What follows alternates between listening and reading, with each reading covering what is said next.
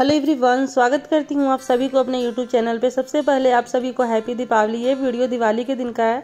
Morning के time से मैं स्टार्ट कर रही हूँ। सुबह के बज रहे हैं साढ़े दस। सुबह जग करके घर की जितनी भी साफ़ सफ़ाई होती है, वो सारा काम हो चुका है।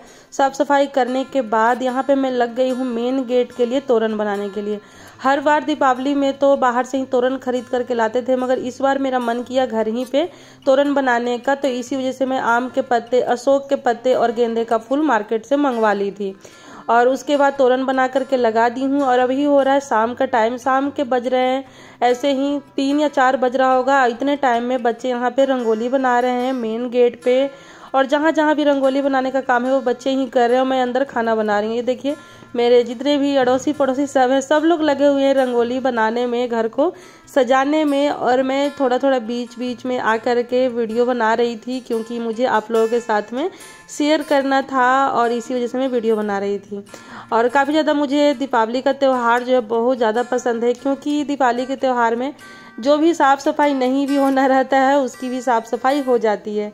अब यहाँ पे देखिए, मैं बना रही हूँ खाना। तो खाने में आज मेरे यहाँ बनता है दिवाली के दिन कढ़ी, चावल तरह तरह की पकौड़ी और ओल की सब्ज़ी। ओल जिसको आप लोग जिमी कंद या सूरन के नाम से भी जानते हैं। मेरे यहाँ गाँव में उसको ओल ही बोलते हैं।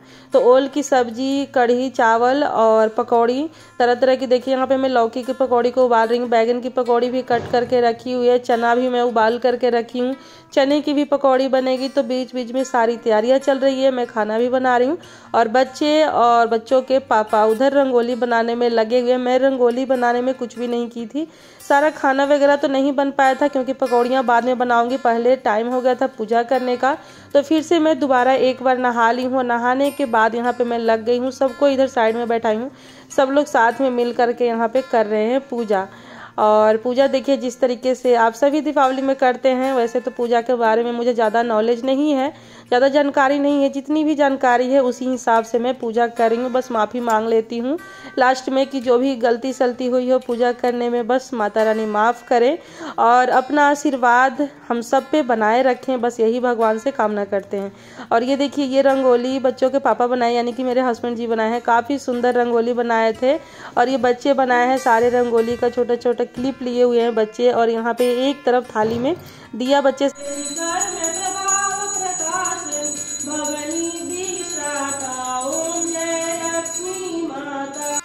पूजा हो गई है संपन्न तो बस लास्ट में आरती करके और पूजा खत्म हो जाएगा और हम लोग हाथ जोड़ेंगे, आशीर्वाद लेंगे।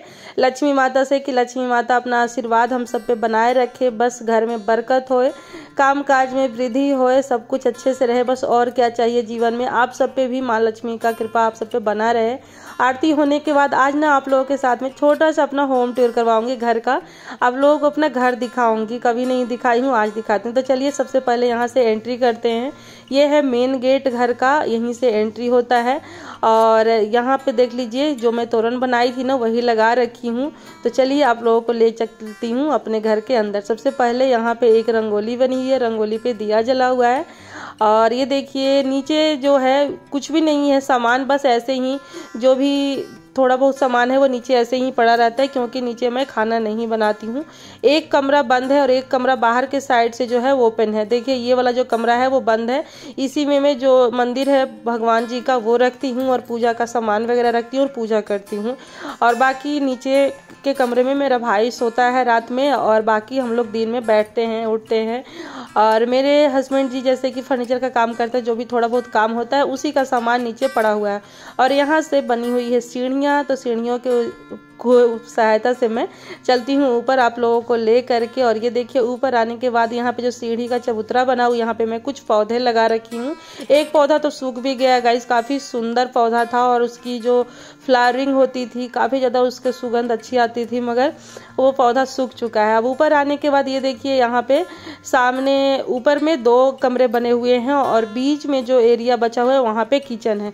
तो ये है मेरा किचन, प्यारा सा।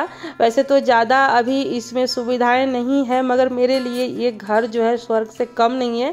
सपनों से कम नहीं है, क्योंकि मेरी ज़िंदगी का सबसे पहला मकान है, पहला घर है। और ये देखिए, जो मैं खाना बनाई हूँ ना, वही है यहाँ पे। ओल की सब्ज़ी, कढ़ी, चावल अभी चढ़ा हुआ है पूजा करने के। बाद ही चावल चढ़ाए थे। और किसी तरीके से, अभी ये आर जो है हाल फ़िलहाल में ही लगा है, इसलिए मैं आपको दिखा रही हूँ। तो यहाँ पे आर लगा हुआ है, यहाँ पे बर्तन धोने के लिए एक सिंक दिया हुआ और इसी में यहीं पे एक छोटा सा फ्रिज है। और ये हमारा हुआ बेडरूम मेरा बेडरूम है, ये देखिए। और सामान पे इग्नोर कीजिएगा, क्योंकि ऐसे ही ये सब फैला हुआ है, क्योंकि आप सब लोग देख सकते हैं यहाँ पे। बस सिंगल वाला बेड है, और साइड में जो है वो तखत लगाया हुआ है, अलमीरा वगैरह नहीं बना हुआ है। तो किसी तरीके से मैं जो आप लोगों के साथ वीडियो शेयर करती हूँ ना स्टोरेज बैग वगैरह वगैरह बनाने का, उसी में सामान को स्टोर करके रखती हूँ और कमरे के जस्ट बगल में सटा हुआ ही है वॉशरूम तो इसी तरीके से अटैच है दोनों और एक कमरा बाहर के साइड में है जिसमें मैं यूज़ करती हूँ, सिलाई मशीन रखती हूँ वीडियो जो बनाती हूँ, देख सकते हैं। कॉर्नर में बोड़े में करके सामान रखा हुआ है और ये सिलाई मशीन से मुझे काफ़ी ज़्यादा प्यार है, इसलिए मैं ऐसे कर रही हूँ। और सबसे प्यारा कॉर्नर जो है वो है बालकनी। काफ़ी ज़्यादा खूबसूरत और काफ़ी ज़्यादा प्यारा हम सब लोगों को है। हम सब लोग शाम के टाइम में या सुबह के टाइम में जब भी हमें बैठना उठना होता है तो हम लोग बालकनी में ही बैठते उठते हैं।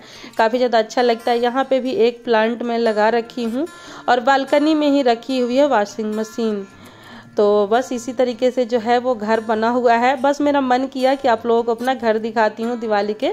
सुबह अवसर पे इसीलिए दिखा रही हूँ। बाकी आप लोग ना कमेंट करके ज़रूर बताइएगा कि आप लोगों को ये छोटा सा प्यारा सा घर कैसा लगा।